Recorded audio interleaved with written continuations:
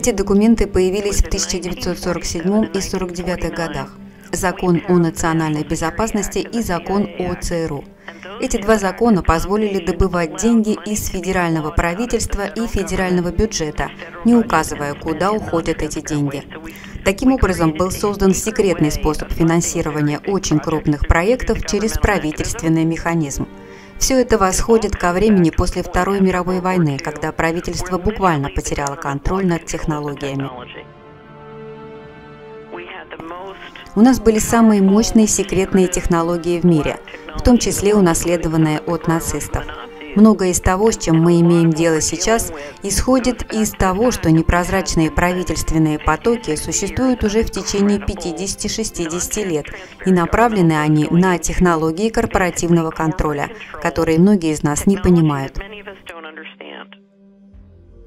Apple, Microsoft и Tesla. Сегодня вечером появились новые опасения по поводу роли гигантов соцсетей в фальшивых новостях и выборах. Эти фирмы обладают слишком большой властью над нашей экономикой и демократией. За всем, что вы делаете в интернете, следят. Каждое ваше действие тщательно отслеживается и записывается. Личные данные ценятся подобно золоту. У нас создана надежная цифровая идентификация. 10 из 17 целей в области устойчивого развития не могут быть достигнуты без полного устранения разрыва в идентификации личности. Цифровая идентичность – это абсолютный ужас. Предстоящее десятилетие должно стать европейским цифровым десятилетием десятилетиям. Мы не сможем этого сделать с традиционными системами. Регламент цифрового сертификата на ковид. Голосование закрытое. Принято. Паспортная инфраструктура уже создана. Вы вводите эту цифровую валюту, и у вас есть полный контроль. Что произошло? Где критика самого капитализма, который привел нас в систему ужасающего неравенства?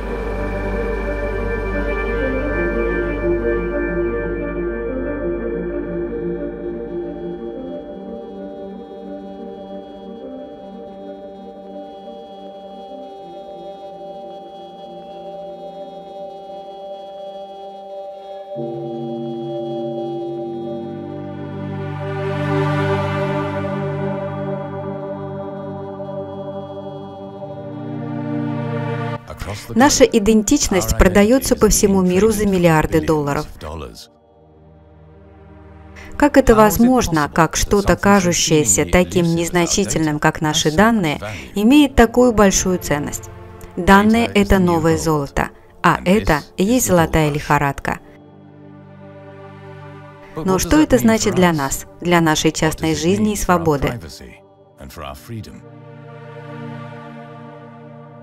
Окутанная вуалью маркетинга и грандиозных и благородных целей, нам открывается будущее, которое менее радужно, чем кажется. Бывший сотрудник ЦРУ Эдвард Сноуден выступил на Next Web, одной из самых влиятельных площадок в мире. В 2013 году он сообщил о крупномасштабной шпионской деятельности, проводившейся в отношении граждан и правительств по всему миру. Вот что он сказал. Идею того, что в Соединенных Штатах, Соединенном Королевстве, Австралии, Новой Зеландии и Канаде существует система глобального массового наблюдения, СМИ растиражировали как теорию заговора – потому что они не смогли понять, зачем. Когда мы получили доказательства, ситуация быстро начала меняться. Мы видели, что произошло.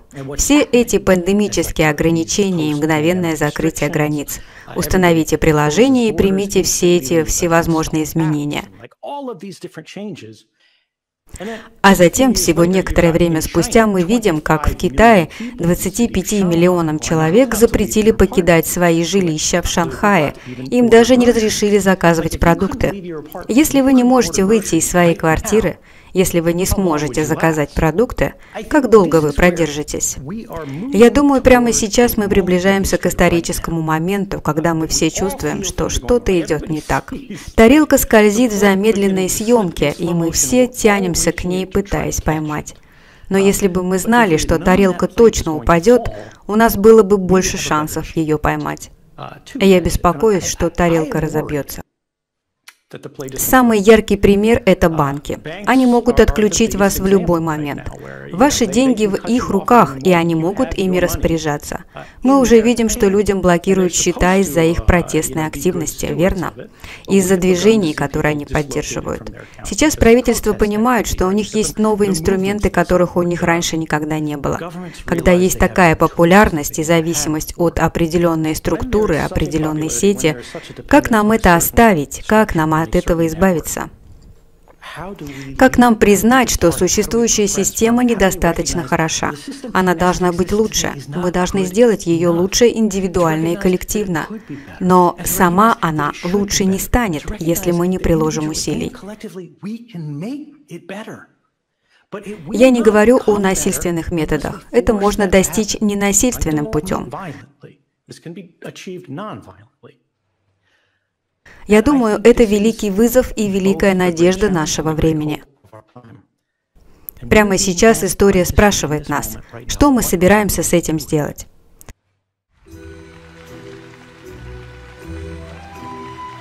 Во главе этих разработок стоит цифровая идентификация. Индустрия цифровых удостоверений личности – быстро развивающийся бизнес – по оценкам аналитиков, его потенциальный доход к 2024 году составит 30 миллиардов долларов, а к 2026 до 50 миллиардов долларов. Неудивительно, что крупные технологические корпорации, такие как Microsoft, IBM и MasterCard, широко представлены в лобби глобальной системы цифровых удостоверений личности. Каждый раз, когда веб-сайт просит нас создать цифровую идентификацию для удобства входа в систему через большую платформу, мы понятия не имеем, что происходит с нашими данными. И это нужно остановить. Вот почему Еврокомиссия предлагает защищенную европейскую цифровую идентификацию. Это единственный, кому мы можем доверять. Каждый гражданин может использовать ее по всей Европе для всех видов целей, от уплаты налога до аренды велосипеда. Это технология, позволяющая нам оставаться под контролем касаемо того, какими данными осуществляется обмен и как это используется.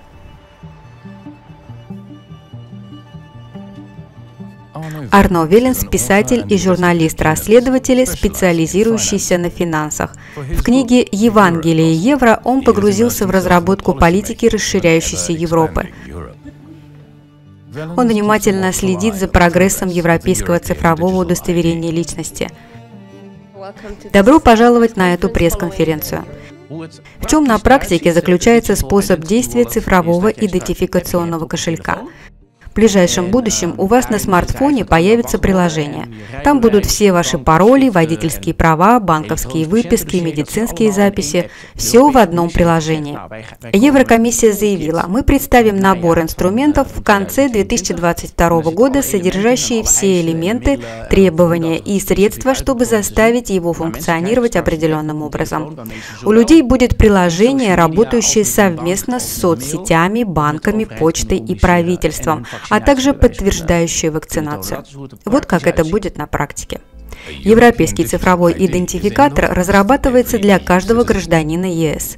Приложение позволит идентифицировать себя с помощью смартфона и выбирать, какими персональными данными вы хотите поделиться как онлайн, так и офлайн с госучреждениями и частными компаниями по всему Евросоюзу.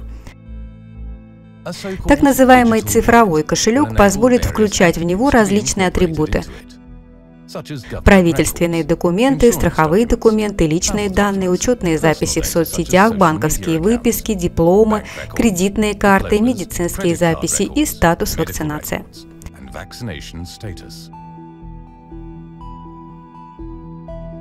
Основатель компании «Конфиденциальность превыше всего» Бас Флиппин следит за цифровыми разработками в области цифровой идентификации. Я из того поколения, кто против ID-удостоверения. Сейчас мы на пороге создания цифрового идентификатора, содержащего все наши данные. С возможностью исключать людей из общества. Разумеется, это совершенно неправильно. С позиции долгосрочной перспективы я видел, что это произойдет. Смысл цифровой идентификации – иметь доступ к вашим данным и контролировать их.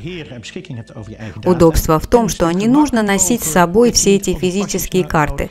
Есть одно единственное средство для идентификации себя и взаимодействия с обществом. Есть ли в этом что-то неправильное? Нет, это удобно. Если вы положите что-то в ваш кошелек на вашем смартфоне, это даст массу преимуществ. Кен Ван Ирланд, цифровой предприниматель и специалист по большим данным, помогает крупным технологическим компаниям в их процессах цифровой трансформации и знает ценность данных, как никто другой.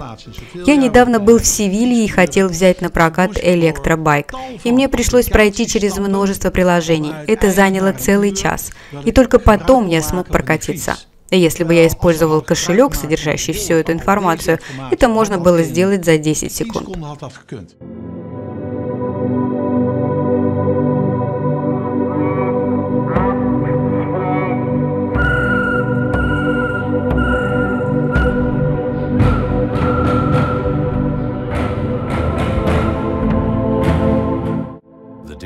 Цифровая идентификация дает нам удобство, безопасность и экономический прогресс.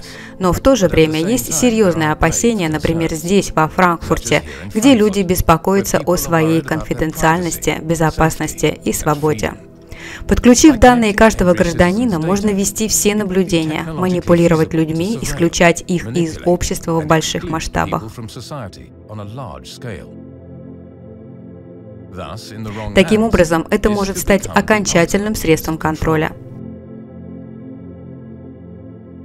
Во время пандемии в 2020 году такие средства использовались для исключения людей из общества.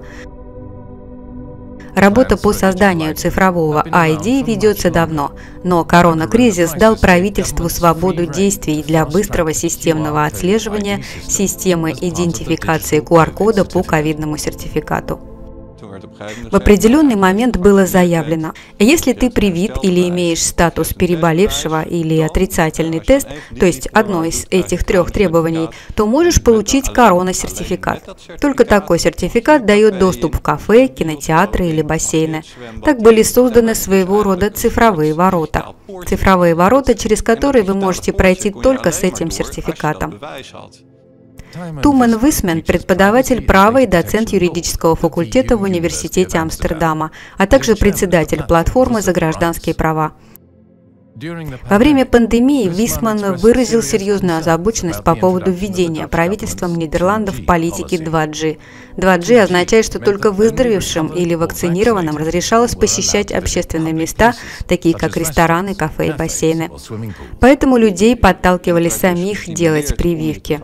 В конечном счете, технический университет Делфта опубликовал отчет, в котором говорилось, что на всех уровнях это не работало. Но мы все же продолжали идти по этому пути. В январе 2020 года технический университет заявил, что голландский ковид-пропуск не работал должным образом. Их исследования, проведенные по заказу здравоохранения Нидерландов, показали, что политика запрета на посещение общественных мест мало способствовала предотвращению распространения болезни. Даже когда наука политизирована, вы видите, что люди готовы продолжать подчиняться этим исключительно технократическим режимам. Это создает очень странное общество, в котором послушным разрешается продолжать в нем участие, в то время как критикующие постепенно исключаются из его структуры. Кроме того, граждане подвергаются проверкам силовиков, проверяющих город на футбольных площадках. Стоит ли у вас галочка, что вы можете быть на открытом воздухе? Я не думаю, что это тот способ, который нужен для управления обществом. QR-общество – это в корне неправильное направление.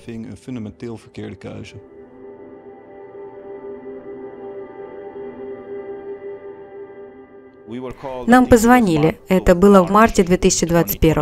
Нам сказали, что мы должны проголосовать по срочной процедуре выдачи сертификатов на ковид. А я спросил, почему мы должны это делать? Зачем эта срочная процедура в отсутствии дебатов? У нас не было доступа ко многим сведениям, не было дискуссий. Мы просто проголосуем за то, чего мы не видим. Я не буду этого делать. Я не чувствую себя комфортно, чтобы голосовать за то, чего я не знаю. Вы задаете слишком много вопросов. Я сказал нет. Кристиан Тереш, европарламентарий, вместе с другими членами парламента, активно выступавший против введения зеленого сертификата в ЕС. Терес считает, что изначально необходима была прозрачность в отношении контрактов на закупку вакцин на сумму 1,8 миллиарда долларов. Сделка с Pfizer, которую лично вела Урсула фон дер Ляйен. Европейская счетная палата также запросила объяснение, но безрезультатно. Она хотела знать, как заключались контракты, на основе каких научных доказательств и на каких условиях. Текстовыми сообщениями компания отказалась поделиться, которые она отправила гендиректору Фазе. Только из-за большого давления Европарламента эти контракты были раскрыты нам и общественности. Я хочу показать вам некоторые из этих страниц. Скажите, это нормально для европейских граждан сталкиваться с ситуацией, когда они не могут прийти на работу, не могут зайти в магазин, не могут прийти с ребенком в школу, не могут свободно переезжать из одной страны в другую, если не будут вакцинированы одной из этих вакцин. Итак, вот эти контракты. Вот эти страницы. В свободном обществе свобода – это правило. Вы видите, как они меняют отношения. Для того, чтобы вы могли свободно передвигаться, вы должны иметь привилегию. Передвигаться – это привилегия. Но ковид – это инфекционное заболевание, верно? Это так, но все, что они сделали, не имело никакого отношения к ковиду. Это предлог. Я знаю это из разных источников внутри Еврокомиссии. До того, как зеленый сертификат был первоначально одобрен Европарламентом, комиссия уже вела переговоры с определенными компаниями о создании инфраструктуры. А вот и мой. Итак, если вы полностью вакцинированы, или уже переболели, или имеете отрицательный тест, вы можете это получить.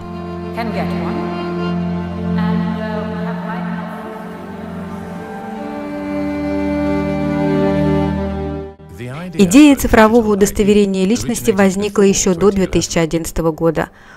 ОЕСД – организация, включающая 37 стран-участниц, создана для стимулирования экономического прогресса и мировой торговли, представила доклад, в котором рекомендовала правительствам принять стратегию цифрового удостоверения личности. В 2017 году Европейская комиссия опубликовала свой первый план действий по созданию электронного правительства с цифровым идентификатором для всех европейцев. Первый шаг – это запуск приложения – я был членом комитета по поводу этого приложения. Зачем оно вообще необходимо? Поскольку конфиденциальность превыше всего, мы в принципе были против этого, но его просто протолкнули. Они и до этого работали над этим приложением, и здесь у них появилась возможность ускориться. Это приложение является первым шагом к цифровому удостоверению личности. И это всего лишь небольшая ступень, чтобы добавить к нему все остальные данные. Скользкий путь от плохого к худшему. Как и ковид использовался с этим приложением как система социального кредита. Потому что если вы неправильно себя ведете, то исключаетесь из системы. Люди говорят, мы живем в демократии, здесь такой системы не будет. Мы видим, что продвигаемся в этом направлении. Ковидный пропуск – это первый шаг, показывающий, как далеко мы можем зайти в рамках этой демократии. Зеленый сертификат приучает людей использовать QR-коды, где нужно показывать свой статус вакцинации при входе в магазин. Теперь это цифровой кошелек. Сейчас они говорят, что это не обязательно.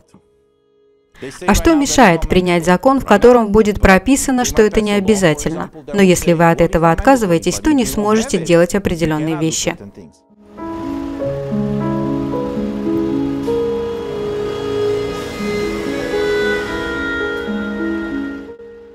Джеймс Корбетт, режиссер-документалист и журналист-расследователь. В своем известном документальном фильме «Как большая нефть завоевала мир» он показывает, как все больше во всем мире суверенитет утрачивается через технократические силы. По словам Корбета, мы вступаем в эру обширного государственного контроля. Существуют разные парадигмы, в которые мы вступаем по мере развития истории вместе с происходящими событиями. Я думаю, события за последние два десятилетия, безусловно, это и 11 сентября 2001, использовались как одна из парадигм контроля над обществом и для оправдания различных мер, которые были бы невыполнимы без этого оправдания um, doable, really, without the, that, uh, that justification, that presumed justification.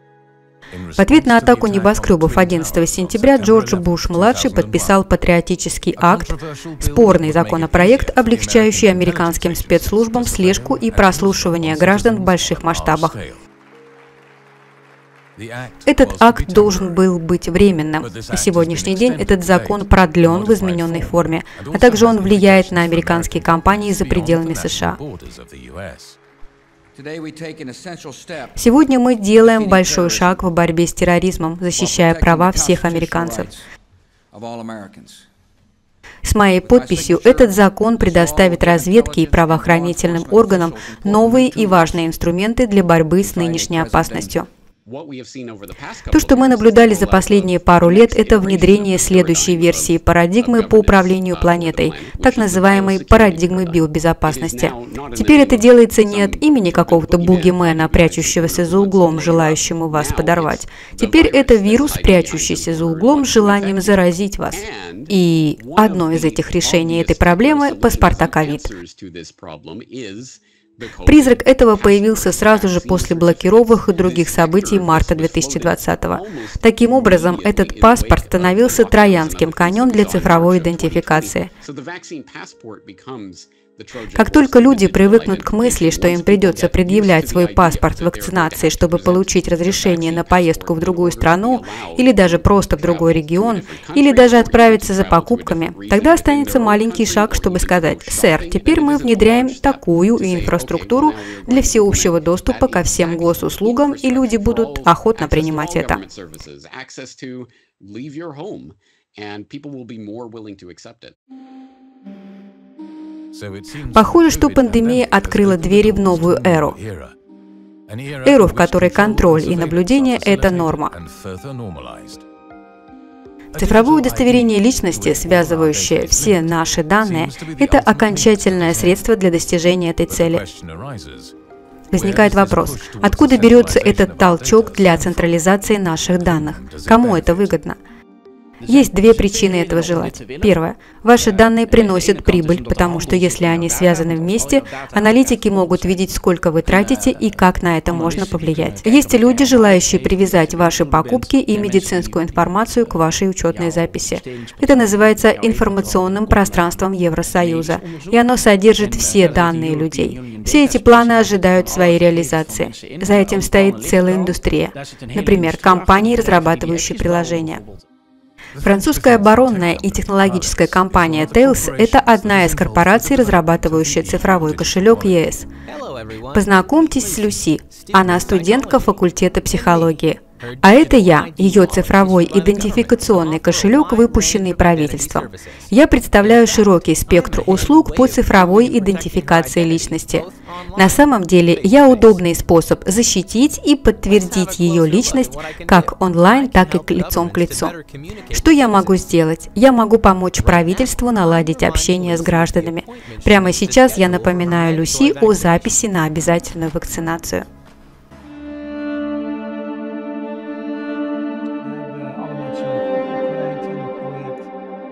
Насколько мощно это лобби от технократических компаний?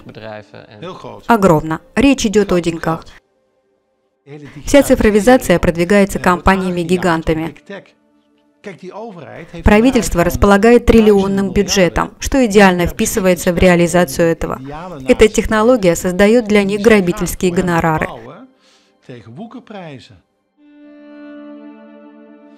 Со всей этой парадигмой цифровизации правительство видит, что это может быть реализовано централизованным способом. Все французские и немецкие компании восклицают «Вау, здорово!», потому что это многомиллиардные проекты. На создание платформы инвестируются сотни миллиардов евро для регистрации личности 500 миллионов европейских граждан. И здесь должен быть задействован целый рабочий процесс, с помощью которого можно управлять вами от колыбели до могилы. На основе капитализма слежки была разработана своего рода свободная интернет-модель для подключения потребителей к своему сервису. Следующий шаг – манипулирование вашими данными, чтобы продвинуть вас в направлении, о котором вы и не думали. С тех пор, пока это развитие не было включено в политику, мышление было таково. А если мы можем предугадывать поведение потребителя и управлять им, то, возможно, то же самое можно сделать и с избирателями. Конечно, это очень эффективный способ контроля, мечта каждой крупной корпорации.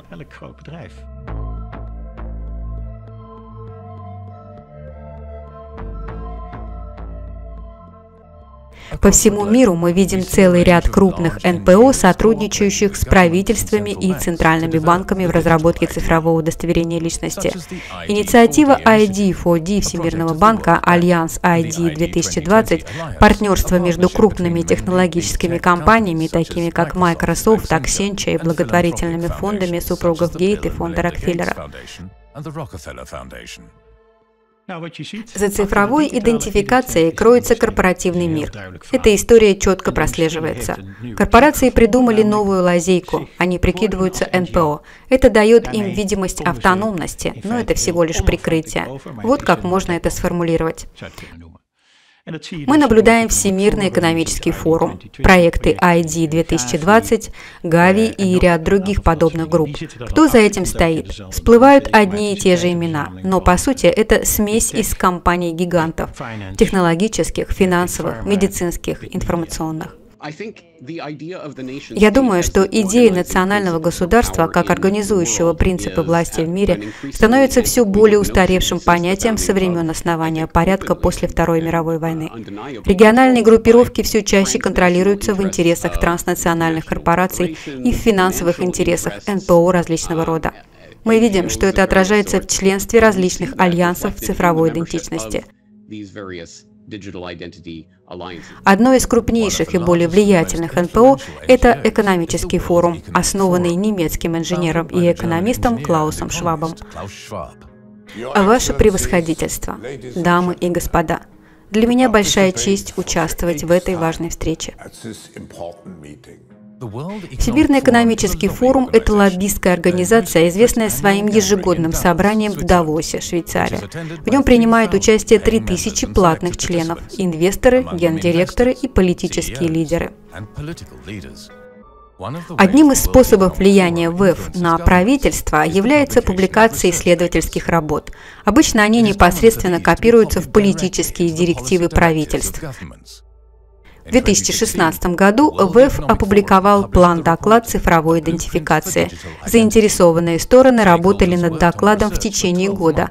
Среди них Альянс ID 2020, фонд супругов Гейтс, Visa, MasterCard и другие.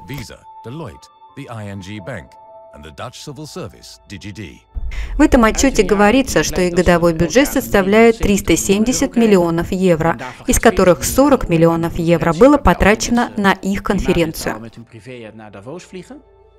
Ради чего и летят все эти люди в Давос на частных самолетах с нейтральным содержанием углерода.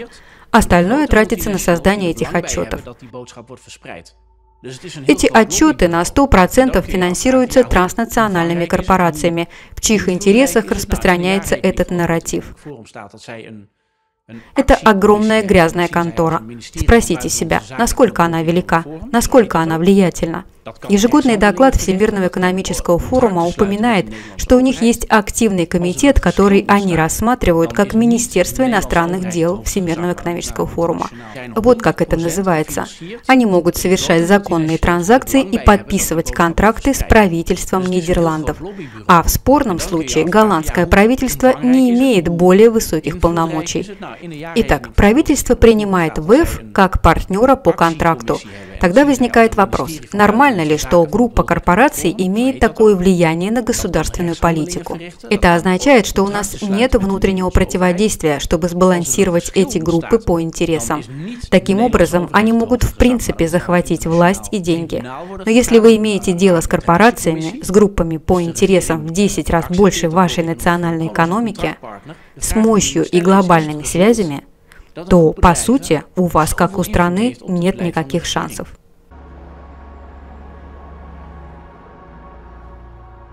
Все притворяются, что мы живем в условиях демократии, но это не так. У нас есть неизбранные люди у власти, которые ни перед кем не отчитываются. Плюс ко всему отсутствие какой-либо прозрачности. Все сегментировано. Закулисные сделки заключаются до того, как предложение поступает к вам на стол. Видя, что происходило, например, с зеленым сертификатом и что происходит сейчас со многими другими вещами, где явно отсутствует какая-либо прозрачность, это проблема. Кристиан Тереш рос в Румынии во времена репрессивного режима Чаушеску, который длился с 1966 по 1989 годы. В связи с введением европейского зеленого сертификата Кристиан обеспокоен тем, что является для него узнаваемыми шаблонами. В то время в Румынии все испытывали серьезные трудности и боролись за выживание, поскольку питание, электричество и газ были рационализированы. Если вы осмелитесь пожаловаться или воспротивиться происходящему, вас немедленно возьмет под наблюдение секретная служба. Видя, что происходит сейчас, а особенно будучи членом Европарламента по всей Европе, я не хочу, чтобы этот опыт повторился. По этой причине я борюсь за свободу и основные права. В данный момент мы находимся как бы на острие ножа.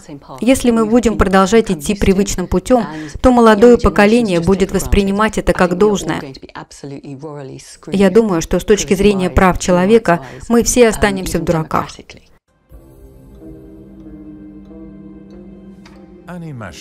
Энни Мэнчен, бывший сотрудник британской разведки Ми-5. В 1997 она и ее бывший партнер Дэвид Шоллер стали разоблачителями, приоткрыв завесу над крупномасштабным незаконным шпионажем британских спецслужб. Среди прочего, Дэвид Шоллер сообщил, что в 1996 британская служба заплатила различным террористическим организациям за убийство ливийского лидера Муаммара Каддафи. Во время покушения были убиты несколько его телохранителей. Зная, что газеты вот-вот опубликуют статью, пара решила сбежать в Европу. Вы путешествуете по Европе и знаете, что тайная полиция идет по вашему следу. Мы были внутри и знали все трюки, по которым нас могли выследить. Вы не можете пользоваться банкоматами, только наличные. Не можете забронировать номер в гостинице, потому что это можно отследить. Это похоже на то, как сесть в поезд без предупреждения, на месте купив билеты и переодеться, и переезжать, все время переезжать. После всего, что Мэнчен пережила, она стала писателем, активистом и публичным оратором. Обладая знаниями в области безопасности данных, она борется за конфиденциальность и безопасность в интернете. Мы сталкиваемся в интернете с рядом ключевых угроз.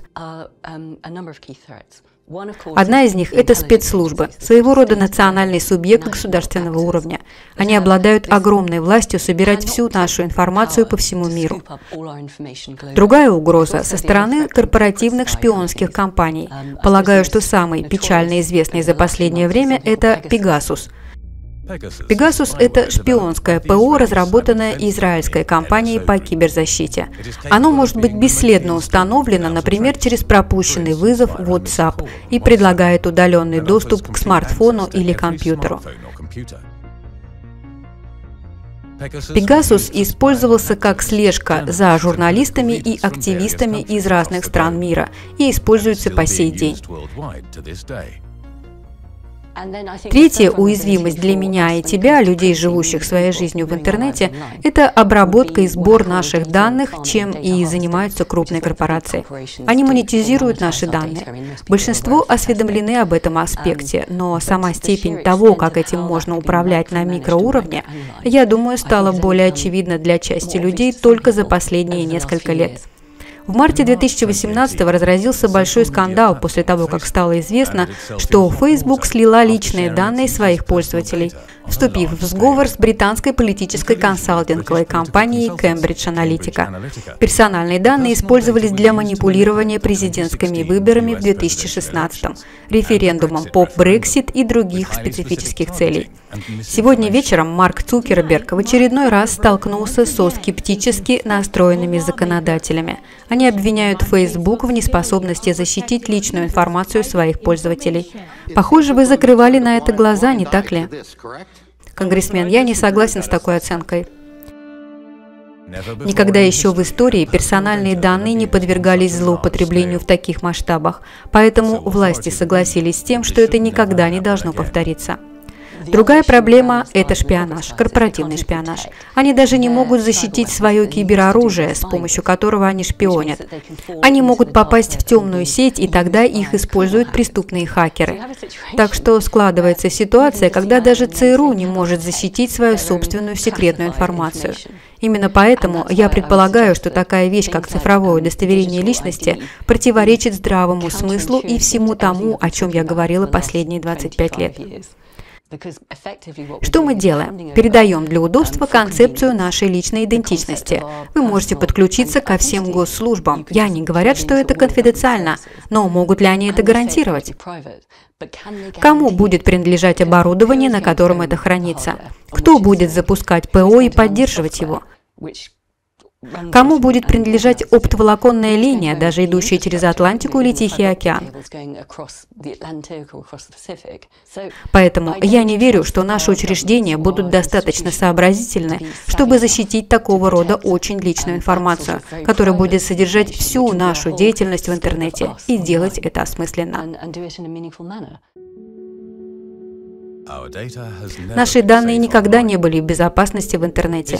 История учит нас, что защитить граждан от хакеров, корпораций и правительств практически невозможно. И все же, мы должны верить, что цифровое удостоверение личности обеспечит безопасное решение для всех наших централизованных данных. В ближайшем будущем у нас будет локально одно место, где все будет сконцентрировано в цифровом виде под одним замком. Лисе нужно сломать только один замок, и можно забрать всех цыплят одним махом. Всех цифровых цыплят. Мы имеем дело с огромной опасностью. Как только деньги будут привязаны к цифровому идентификатору, это станет совершенно другой историей. Человека можно будет исключить из платежной системы. Это манипулирование как средством контроля. В этом случае система социального кредитования не кажется такой уж далекой. С конца 2020 года более 100 банков по всему миру, в том числе Европейский ЦБ и Федеральная резервная система, начали обширные исследования по разработке CBDC – цифровой валюты Центрального банка. В Канаде, Франции, Саудовской Аравии и Китае уже стартовали пилотные проекты, а на Ямайке и Багамских островах эта валюта уже выдается. Соавтор Пьер Джордж является профессором Университета Кейптауна и директором лаборатории финансовых инноваций Калифорнийского университета. В качестве консультанта он работает с центральными банками по всему миру в области разработки цифровых валют центральных банков. Центральные банки очень активно объединяются под эгидой Банка международных расчетов Центрального банка центральных банков, который запустил сеть финансовых инноваций, и у них есть своего рода различные центры в разных юрисдикциях провинциях по всему миру. Поэтому на этом форуме мы сейчас развиваем эту новую инфраструктуру. Идея в том, что вы полностью избавляетесь от наличных и переходите на полностью цифровые деньги. Есть способы предоставить такую услугу людям, у которых нет смартфонов, доступ к цифровым деньгам. Эти технологии сейчас разрабатываются. Как это воплотится в реальность, это всего лишь вопрос времени. Банк международных расчетов в Базеле, Швейцария, это центральный банк центральных банков. В своем инновационном центре они неустанно работают над созданием цифровой валюты ЦБ. Агустин Карстенс, генеральный менеджер Банка международных расчетов, в октябре 2020 сделал заявление, которое у многих вызвало удивление. Мы склоняемся к установлению эквивалента наличных денег, в которых будет огромное отличие. Например, с наличными. Мы не знаем, кто сегодня пользуется этой купюрой в 100 долларов. Мы не знаем, кто сегодня пользуется этой купюрой в 1000 песо. Ключевое отличие CBDC заключается в том, что Центральный банк будет иметь абсолютный контроль над правилами и положениями, которые будут определять использование этого выражения ответственности Центрального банка. А также у нас будут технологии для обеспечения этого. Эти два вопроса чрезвычайно важны, и это имеет огромное значение в отношении того, что такое наличные деньги. Карстен сказал, что центральные банки стремятся к абсолютному контролю за тем, как вы тратите ваши деньги. Это подразумевает огромный уровень контроля – вы должны понимать, что основная причина, по которой был создан Банк международных расчетов, была скрыта. Основная причина его создания – это создание банка, обладающего суверенным иммунитетом. Со времени Гаагской конвенции они придумали способ распространения этого суверенного иммунитета по всей планете. В результате были созданы такие организации с суверенным иммунитетом ВОЗ и ООН. Возникла отколовшаяся цивилизация, которая думает, что обладает суверенным иммунитетом от всех национальных конституций. Кэтрин Остин Фитц, американский инвестиционный банкир, в прошлом управляющий директор инвестиционного банка Дилан и Рид. Она также была помощником жилищного строительства в администрации Буша в 1988 году. Они стремятся к созданию системы, где все будет под полным централизованным контролем, и эта экономика будет работать на них. Это надо понимать. У вас есть группа людей, которые могут напечатать столько денег, сколько захотят, из воздуха. Итак, пока вы могли печатать деньги из воздуха и обменивать их на рабочую силу и товары по всему миру, это работало. Важно не деньги, важно контролировать реальные активы. Поэтому мы видим попытки создать заинтересованность населения в деньгах, в то время как реальные вещи находятся под контролем, в том числе и люди. Один из главных вопросов – будут ли существовать банки? В Центральном банке вы можете делать все в цифровом виде, но это также означает, что руководители центральных банков могут диктовать правила, когда и как вы можете использовать свои деньги – Лекс Хугдон преподает экономику в университете Гронингена и является бывшим управляющим Центрального банка Нидерландов. Он говорит, что эта тенденция уже продолжается некоторое время. Очень часто директора ЕЦБ, выступая, говорят не о ценовой стабильности, а о климате. Фокус внимания уводится от ценовой стабильности. Изменение климата – один из самых больших экономических рисков, с которым сталкивается Европа в этом столетии, да и весь остальной мир.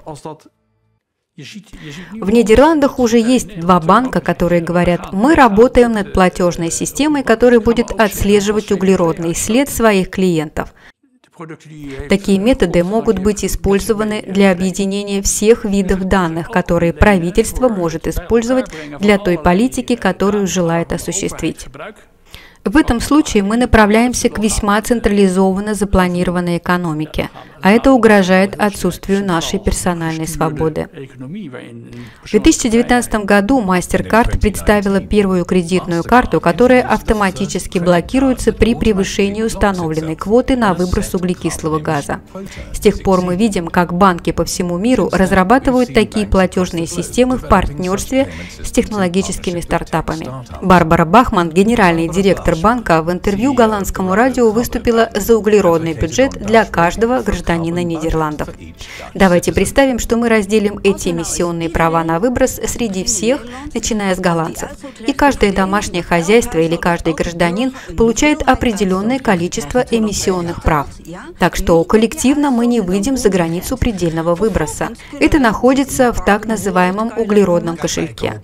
Ты можешь купить еще? Да. А потом, если я захочу полететь, я могу купить у того, кто не летает. Например, если у вас нет денег на полет, вы можете продать мне ваше право на выброс углеродного следа и тем самым заработать.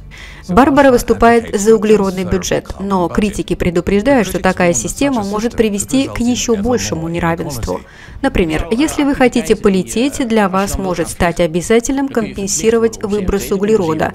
Даже если вы с этим не согласны, сумма автоматически спишется с вашего счета. Такого рода вещи могут быть встроены в цифровом виде. Здесь возможности безграничны. Центральный банк всегда имел очень четкие полномочия, но с этим он становится все более политизированным. Он присваивает себе право вводить налогообложение. Таким образом, это налогообложение без демократической подотчетности. Это не прогресс, это возвращение в прошлое. В итоге эта война сведется к индивидуальному и национальному суверенитету. Вместе с этим, могут ли центральные банки осуществлять налогообложение без представительства? Их способ сделать это они называют валютой CBDC. Но это не валюта, это контрольная сеть. Это контрольная сеть, которая позволит им управлять делами с помощью искусственного интеллекта и программного обеспечения и взимать налоги без представительства.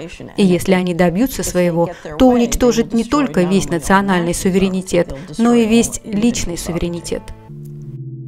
За последнее время использование наличных денег резко сократилось.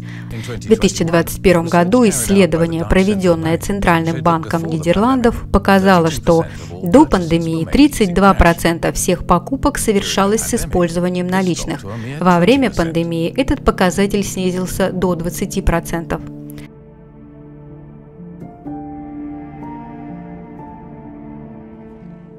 Что касается цифрового евро, позвольте мне подчеркнуть, что мы все согласны с тем, что они должны не заменять, а дополнять наличные деньги.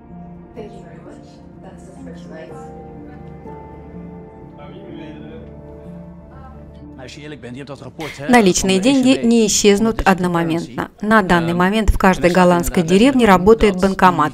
Но что вы сможете сделать с наличными, если банкоматов и других мест для обналичивания будет сильно меньше? Так что бумажные деньги не исчезнут полностью, но будут вытеснены. В то же время криптовалюты станут все более регулируемыми.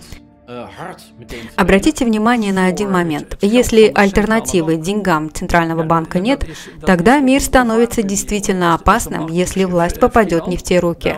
Поэтому хорошо бы осознавать, что мы здесь создаем, и не говорить, ну, это всего лишь небольшой вопрос. Как только это введется, намного труднее станет что-то изменить. Уже не новость, что финансовая система, подключенная к цифровой идентификации, может использоваться как средство контроля. В Китае с 2009 года внедряется система социального кредитования, которая оценивает поведение граждан с помощью бальной системы. После пандемии мы можем наблюдать, как китайские власти усиливают надзор за массивными данными для контроля граждан. Мощная китайская система для отслеживания ковид, привязанная к цифровому идентификатору, также использовалась для предотвращения протестов. В мае 2022 года в китайской провинции Хайнань планировалась акция протеста против банков. У всех, кто собирался на это мероприятие, внезапно их проездные документы стали красными, то есть они не могут пересечь эту границу и не могут поехать на запланированную акцию протеста. Поскольку все было оцифровано, они получили предупреждение от правительства, что не могут забрать свои деньги, поскольку протестовали против мер борьбы с ковид и не, больше не вправе распоряжаться своими деньгами. Система социального кредитования построена таким образом, что если граждане Китая ведут себя неподобающе с точки зрения власти страны, они теряют баллы и автоматически попадают в черный список, лишаясь определенных прав и привилегий. Это далеко идущие системы контроля, которые ограничивают граждан в поездках и замораживают банковские счета, до недавнего времени были чем-то, что было возможно только при тоталитарных режимах и до 2022 года, когда счета протестующих также были заблокированы в Канаде. В Канаде прошли протестные акции против премьер-министра Трюдо. Дальнобойщики выступили против политики вакцинации и стали блокировать дороги. Был организован сбор средств, краудфандинг для помощи дальнобойщикам в этой блокаде для обеспечения их всем необходимым – едой, одеялами. Тогда правительство выразило несогласие, закрыв доступ людям к своим счетам и заблокировав сайты краудфандинга.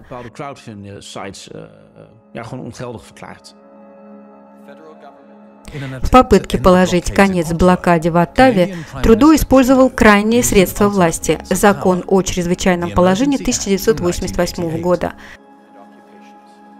Это позволило правительству заблокировать банковские счета дальнобойщиков и их спонсоров. Канадцы восприняли эту акцию как захват власти тоталитарным правительством. Из-за резкой критики Трудо в конце концов был вынужден разморозить счета. Это показало, что даже в условиях западной демократии цифровая финансовая система может быть использована в качестве далеко идущего средства контроля. На данный момент правительствам уже довольно легко использовать эту систему для введения санкций, чтобы запретить дальнобойщикам получать платежи тем, кто не согласен с политической идеологией и выражает протест. Итак, у нас уже есть эти средства. Вопрос в том, облегчает ли это CBDC. Я думаю, что ответ утвердителен. С точки зрения технологии, если у вас есть более эффективная валюта, существует риск злоупотребления. Внедрение такого типа технократии становится намного проще, когда все оцифровано, включая наши личности, и привязано к нашим банковским счетам. Мы находимся на краю пропасти. Мне интересно, понимает ли большинство всю серьезность того, с чем мы столкнулись?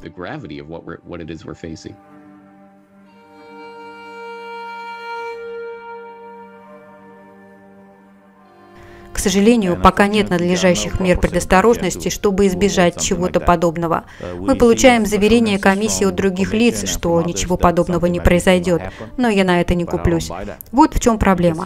Когда вы создаете закон, вы должны думать о наихудшем сценарии развития событий. Вы никогда не знаете, кто в будущем после принятия закона придет к власти и воспользуется им негативным образом. Если дела пойдут совсем плохо и будет избрано правительство, которое станет более драконовским и авторитарным, чем мы привыкли на Западе со времен Второй мировой войны, то это означает, что наш цифровой идентификатор будет открыт настежь для злоупотребления агрессивной слежкой и, возможно, тем, что делали нацисты во времена СССР – арест и депортация. Любому злонамеренному правительству будет легко сделать это в любой стране. Эта идеология технократии, по сути, стремится перевести человечество из прекрасного упорядоченного состояния органической природы в человечество 2.0, где каждый человек будет отслеживаться и храниться в базе данных, куда бы он ни пошел в любое время. А затем, возможно, алгоритмы сгенерируют наилучший курс для общества. Думайте об этом как о системе финансового контроля. Все, что они делают, это выстраивают инфраструктуру для ее создания. Нужно добавить только две последние части. И затем все оказываются в цифровом концлагере.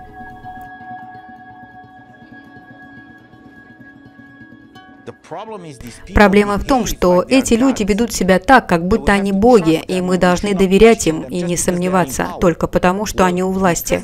Мы должны сомневаться именно потому, что они у власти. Власть развращает. Мы как граждане и вы, ребята, как журналисты, всегда должны следить за тем, что делает кто-то, находящийся у власти. В условиях экспоненциального роста, обусловленного большими прибылями технологических гигантов и стремлением к контролю центральных банков, вокруг нас предпринимаются гигантские шаги по созданию технократической сети. Похоже, что демократический процесс едва ли способен идти в ногу с этими событиями. На карту поставлена наша свобода и неприкосновенность частной жизни – это помещает нас в серую зону, потому что возникает вопрос, насколько мы готовы пожертвовать нашей частной жизнью и свободой ради удобства. И что мы можем сделать, чтобы направить это движение себе на пользу. Я думаю, людям надо начинать искать и использовать все те вещи, которые позволят им отделиться от системы технократического контроля. Конкретно, я думаю, это создание и развитие сообществ по интересам, где люди смогут добровольно и независимо собираться вместе, взаимодействовать для достижения своих целей. Вместо того, чтобы быть помещенным в систему, где у вас нет выбора, и вы просто еще один винтик в системе.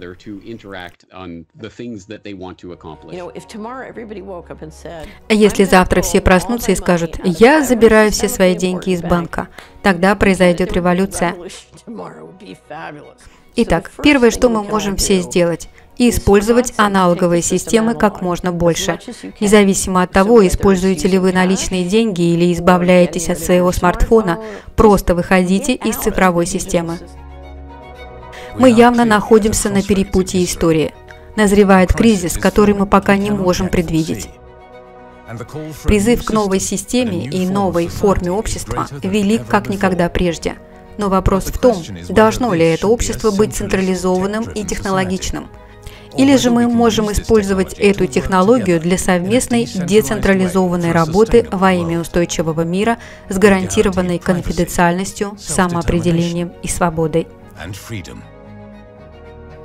Верите ли вы, что они в конечном итоге добьются успеха? Нет, я думаю, они потерпят неудачу. Я действительно так думаю. Вы не можете управлять такой системой со столь громадным контролем сверху вниз потому что она выйдет из строя и создаст беспорядок. Это слишком противоречит тому, как разум и ресурсы действуют на этой планете. Это просто несовместимо с жизнью.